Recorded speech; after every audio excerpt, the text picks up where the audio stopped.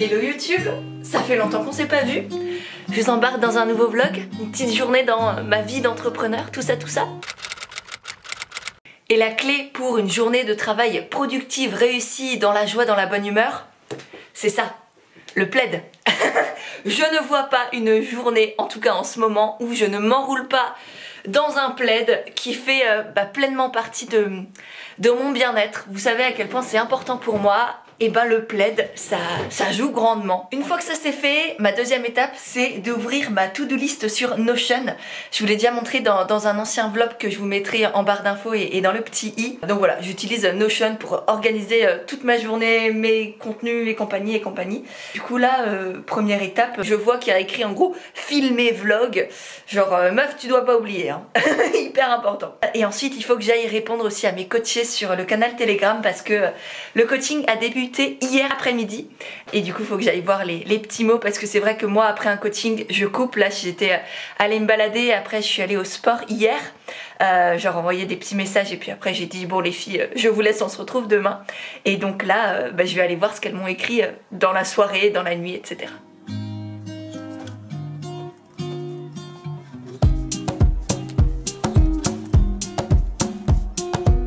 j'ai la chance d'habiter en face d'une espèce de forêt. J'habite dans une espèce de cabane.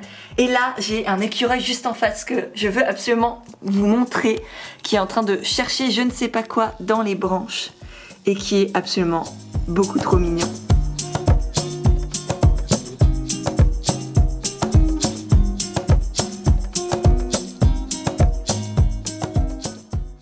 Voilà, c'est aussi ça mes journées, ma productivité qui est entachée par euh, des voisins écureuils qui me perturbent et que je peux passer des... Puis il est en train de se gratter, il est trop mignon. Euh, ouais, je peux passer des... J'allais dire des heures, non j'abuse un peu, mais euh, pas mal de minutes dans la journée à, observer ces, petits bouts d'amour là qui sont, qui sont beaucoup trop choux. Bref, je reviens à, mon travail. Là, j'étais en train de faire des stories euh, parce que les, retours là des, participantes au, coaching d'hier m'ont euh, apporté pas mal d'idées, notamment sur, euh, sur toutes les croyances que l'on porte par rapport aux croyances de nos parents et toutes les, blessures et, et, les poids aussi que l'on s'est soi-même infligé bien souvent parce que quand on y pense la plupart de nos parents, alors ça dépend évidemment, chaque famille est extrêmement différente, mais, euh, mais par exemple pour toutes celles qui étaient là, bien souvent, que ce soit le père, la mère ou peu importe qui nous a éduqués et élevés, euh, on a l'impression qu'on leur doit quelque chose, qu'il faut faire ceci ou cela, alors que jamais personne ne nous a rien demandé les bonnes notes à l'école, on n'était pas obligé d'être la première de la classe. Euh, on n'était pas obligé de, tout réussir, de savoir jouer euh, du piano, de la flûte, d'être une super championne de ping-pong et, euh, et, ouais, d'être la première en classe. C'est c'est bien souvent des, une pression que l'on s'est soi-même créée avec juste parfois un, un, moment de vie, un vécu, une phrase que l'on a que l'on a gardée en soi, une phrase toute, toute banale, anodine, et pourtant a, a laissé des marques pendant euh, des dizaines et des dizaines d'années. Et, hier, c'était magnifique parce que du coup, je les ai vraiment invitées à aller conscientiser ce qu'elles portaient, ce qui les bloquait. C'était euh, la, séance s'appelait euh, déposer le, poids des croyances et du passé pour vraiment faire table rase en fait de tout ça et qu'on puisse bâtir leur activité sur des bases saines, solides, dans la joie, dans, dans, dans, l'unicité et, dans, dans ce qu'elles ont vraiment à l'intérieur d'elles-mêmes, cette lumière qu'elles portent.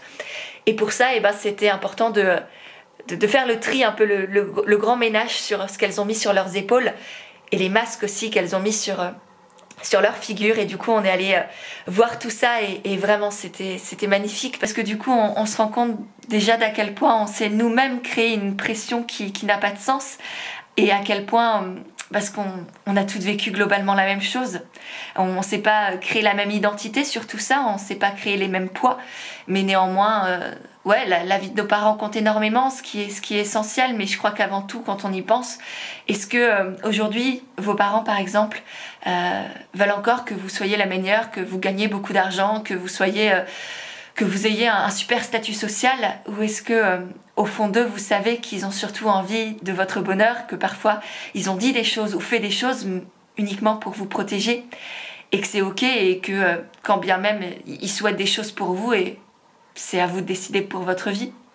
Bref, ça fait très euh, dev perso de comptoir, je vais pas continuer là-dedans, mais en tout cas c'était très beau et très touchant, surtout de voir leur courage. Le courage de partager à des inconnus, parce que hier c'était la première séance et du coup elles ne se connaissaient pas encore entre elles. Et, le courage comme ça de, s'ouvrir, d'ouvrir son cœur, d'ouvrir son, son être et, de simplement être soi. Et c'est vraiment comme ça qu'on crée des liens humains. Et pour moi, c'est hyper important qu'elle, qu'entre elles, ce soit pas juste un, coaching business, mais que ce soit aussi euh, un, un esprit de sororité qui se crée et qui perdure dans le temps, qui, qui dure pas juste les mois du coaching, mais qui les accompagne pendant des mois, des mois et des années. Et c'est aussi en, ouvrant son cœur, en déposant des choses euh, dont on a parfois honte, qu'on n'ose pas s'avouer aussi euh, à soi-même. Euh, bah, que l'on crée ces connexions humaines avec les autres. Euh, c'est pas en échangeant des banalités, c'est pas en disant moi je suis la meilleure, c'est ça juste mon, mon projet, je suis bloquée sur ça ça, ça crée des, liens superficiels qui s'étiolent très très vite. Et, c'est vraiment en acceptant de, ouais, d'être soi pleinement avec les autres que d'une part on autorise l'autre à l'être aussi envers nous et, et que juste qu'on crée euh, ces liens qui vont au-delà de juste un réseau entrepreneurial banal, mais vraiment un, réseau de sororité qui sera là pour, pour s'entraider, pour s'élever pendant des années et des années. Et, je suis vraiment très heureuse et très fière de, d'elle et, de tout ce qu'on va construire ensemble. Ça va être immense, je le sens. J'en profite aussi pour vous montrer du coup comment je fais une fois que j'ai filmé mes stories pour pouvoir les sous-titrer parce que euh, je sais pas si vous savez ou pas mais c'est important, hyper important non, mais c'est important pour les personnes euh, qui, écoutent les stories sans le son, pour les personnes non, non malentendantes aussi par exemple, euh, de mettre des petits sous-titres, alors soit de faire un petit résumé que vous écrivez directement euh, en, en, natif sur l'application d'Instagram, soit il existe aujourd'hui une appli notamment, alors peut-être d'autres j'en sais rien, mais moi j'utilise une appli qui me permet de générer les sous-titres automatiquement. je sais qu'elle est connue de plus en plus, je sais qu'aussi pas mal d'entre vous ne la connaissent pas, donc je vous file le tips qui moi me sauve la vie, enfin qui me sauve la vie. Je, suis à côté, enfin un peu marseillaise hein, sur les bords, mais en tout cas qui m'aide beaucoup euh, et, me facilite la vie et me fait gagner un temps fou. Et en fait, cette application, elle s'appelle CapCut. Euh, je vous mettrai le lien dans la, dans la description. Je vous mettrai de toute manière tout ce dont je vous parle euh, dans, dans, les notes de l'épisode là. Enfin, je me crois sur le podcast. Dans la barre d'infos de la vidéo, plutôt. Donc, ça s'appelle CapCut. Moi, je vais chercher donc ma story avec. C'est super. À chaque fois, les miniatures des trucs, ils, font un effort surhumain quand même. Hein. voilà. Donc là, j'ai téléchargé mon clip vidéo que j'ai filmé sur Instagram. Je l'ajoute. Ensuite, là, pour sous-titrer automatiquement, je vais dans texte. Je clique sur légende automatique. Voilà, je démarre. Là, lui, il mouline, il mouline, il mouline. Et il va nous sortir du coup la légende automatique. Voilà. Et donc là, vous avez tous vos sous-titres automatiquement. Vous pouvez soit laisser comme ça importer si vous voulez pas perdre de temps du tout, ou soit euh, modifier la police, la taille, tout ça, tout ça, euh, en cliquant sur le style. Donc là, vous pouvez choisir la police. Moi, je sais pas, on verra après. Vous pouvez mettre des bords, des zones de travail, des ombres, des je sais pas quoi. Vous pouvez donc vous amusez au niveau des sous-titres, le mettre euh, en rouge, en gris, en gras, en tout ce que vous voulez. Bref, là il y a la police et, elle change au fur et à mesure que vous changez. Et une fois que c'est fait, une fois que votre police elle est prête, et eh ben vous avez juste à télécharger votre clip juste ici. Là moi c'est génial, je le télécharge alors qu'il n'est pas du tout fini. Mais voilà, au moins comme ça vous savez comment faire, c'est une application complètement gratuite et vraiment elle fait gagner énormément de temps. Donc, euh, voilà, dites-moi d'ailleurs en commentaire si vous la connaissiez, si vous l'utilisez ou si euh, bah, vous vous dites ah bah tiens c'est une bonne idée, merci pêche. Je viens d'avoir une super discussion avec Chloé, euh, Chloé Bloom, que tu connais peut-être. Et, euh, et, du coup, je me suis dit que j'allais vous faire un voice sur euh, mon canal Telegram. C'est vraiment une plateforme que j'aime énormément pour vraiment partager mes réflexions, les, les coulisses de mon entreprise, un peu différemment qu'avec les vlogs où c'est plus, plus concret dans les vlogs. Et là, c'est vraiment des, des réflexions, l'état d'esprit. Et là, par exemple, notre discussion avec Chloé, c'était au niveau du, leadership et, d'accepter de parfois savoir dire je ne sais pas, savoir dire j'ai merdé, savoir dire aussi ça ne va pas, je ne suis pas d'accord, je ne suis pas contente, on va dire, de, de ce qui se passe, de, du travail de certains, euh, si on a des collaborateurs ou des équipes et compagnie. Et du coup, je me suis dit que j'allais vous faire euh, voilà, un petit voice sur, euh, sur cet échange parce que je trouve ça toujours chouette de vous partager aussi bah, tout ce que je peux apprendre, comprendre, toutes ces expériences de vie. Là, par exemple, le fait d'être accompagnée par Chloé, c'est super chouette, ça m'apporte énormément. Donc, donc ça me fait plaisir de vous le partager.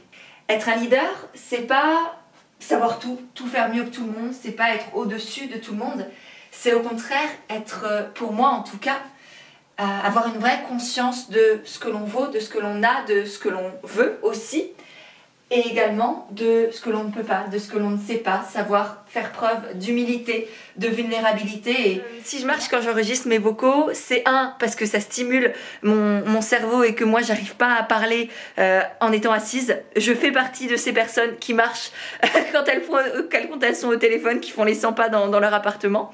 Il y a de ça. Et il y a aussi parce que tout simplement, sinon, je passe ma vie les fesses assises sur euh, ma chaise, ce qui n'est vraiment pas euh, génial euh, niveau que ce soit circulation, santé, bien-être, énergie et compagnie.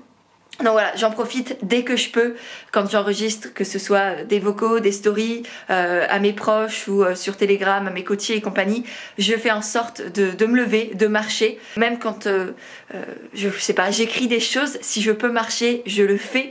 Euh, même que ce soit chez moi ou dehors quand euh, en été, au printemps, euh, ça fait du bien aussi. Et, je vous invite vraiment à faire ça. Si vous êtes comme moi, passer des heures et des heures devant l'ordinateur, trouvez-vous des petits moments comme ça, juste pour marcher, faire quelques pas, vous rasseoir après. Mais, mais voilà, je suis sûre qu'il y a plein de choses dans votre quotidien que vous pourriez faire en marchant, même si c'est sur le téléphone. Donc faites-le. Je vous reprends à midi, j'allais préparer mon euh, repas. je vous dis ça entre guillemets parce que je suis vraiment pas du tout, du tout une grande cuisinière. Euh, j'aime bien manger, mais préparer à la cuisine, c'est pas mon fort. Et, et en même temps, c'est hyper important pour moi de vraiment prendre le temps tous les midis de, de manger sainement, équilibré en même temps, de me faire plaisir aussi. Euh, mais surtout de me poser. Je suis pas du tout l'acharnée au, boulot. Euh, j'ai bien travaillé ce matin. Là, je vais me faire une bonne pause. Euh, tout à l'heure, vous allez voir, j'ai un, bel appel aussi avec Ilia Renon. Peut-être que certaines d'entre vous la connaissent, mais voilà, on a décidé de s'appeler. On, essaye de faire ça régulièrement, se donner des nouvelles, brainstormer, changer, papoter. ça fait du bien.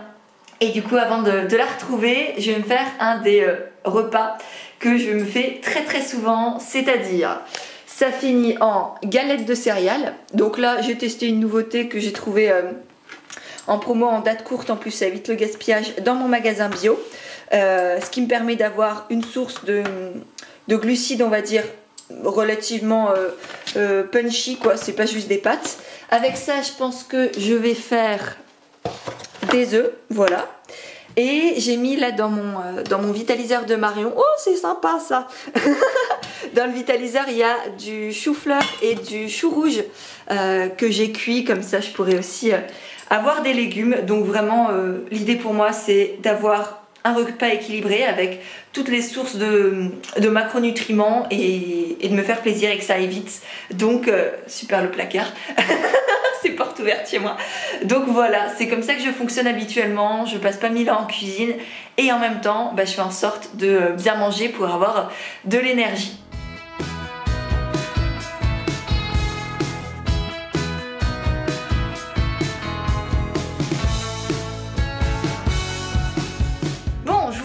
En fin d'après-midi. Enfin, là, il est 17h passé, mais je vous avoue que je commence quand même à pas mal fatiguer. Euh, surtout que filmer un vlog en plus de sa journée banale, bah, ça rajoute aussi de la charge mentale, de l'énergie, du temps en plus et compagnie. Euh, sinon c'était super chouette le call avec Ilia vraiment elle a de très très beaux projets qui arrivent et, euh, ouais ça fait plaisir de, de l'avoir avancé comme ça développer tout ça se reconnecter à encore plus de joie à l'intérieur d'elle c'est c'est magnifique, donc euh, voilà, peut-être que vous la connaissez, en tout cas je vous invite vraiment à aller la découvrir ou, à continuer à la suivre si c'est le cas. Et moi de mon côté j'ai enchaîné avec un call avec mon équipe pour préparer notamment le retour de la formation comme au naturel. On est en train de préparer une très grosse mise à jour de la formation et ensuite du coup un lancement de cette même formation. Du coup, il y a plein de belles choses à faire. C'est euh, une sacrée charge de travail et en même temps beaucoup de joie, beaucoup d'excitation parce que c'est c'est vraiment une formation que, que je tiens au, fond de mon cœur, qui, qui apporte énormément. J'ai des super retours, les témoignages sont ouf. Et, et voilà, ça m'excite et en même temps ça me stresse un peu de, de la remettre à jour. Mais, mais ouais, j'ai hâte ensuite de pouvoir vous la reproposer euh, avec toutes ces nouveautés et, ces améliorations-là. Donc voilà, ça, ça m'a pris beaucoup de temps aussi. Et, et là, je vais pas recommencer grand chose parce qu'en plus, j'ai du sport dans, dans une petite demi-heure, faut que je parte. Donc je vais vous laisser là. J'espère que ce vlog vous a plu. Dites-moi en commentaire si vous aimez ce genre de format, si c'était intéressant ou si vous avez des questions, par exemple, sur des choses que je pourrais aborder dans des prochains vlogs. Euh, ça m'aide toujours pour vous créer du contenu intéressant et, et qui vous donne aussi envie d'avancer, vous motive, vous inspire et compagnie. Voilà, et puis euh, évidemment, n'oubliez pas de vous abonner si c'est pas encore le cas, de mettre un petit pouce en l'air, et puis euh, eh ben, on se retrouve tout de suite sur Instagram et sur Telegram, et puis euh, bah, très vite dans une nouvelle vidéo.